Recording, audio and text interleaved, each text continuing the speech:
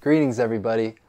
I'm Joe Liptock, audio engineer, and today I'm here to talk to you about hooking up your stereo speakers to a computer. Now, I'm sure you've always wanted to have your banging stereo speakers be the forefront of your computer sound system. That's a pretty cool thing, right? But unfortunately, most stereo speakers don't have an eighth inch audio jack to plug directly into your computer. So what can remedy this problem? Well, I always like to say it's all about adapters. And right here, my friends, is the solution.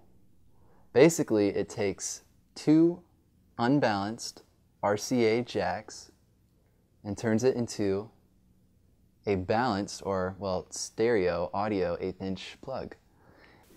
The first thing you want to do is plug the output of the stereo speakers, which is the RCA plugs, into the RCA jacks of your adapter. Next, plug the eighth inch plug of the adapter into the eighth inch audio jack into your computer. Voila, simple as that. You've just hooked up your stereo speakers to your computer. Now, I hope you enjoyed this video, and I hope that you learned something. Thanks for watching, guys. I'm Joe Liptock.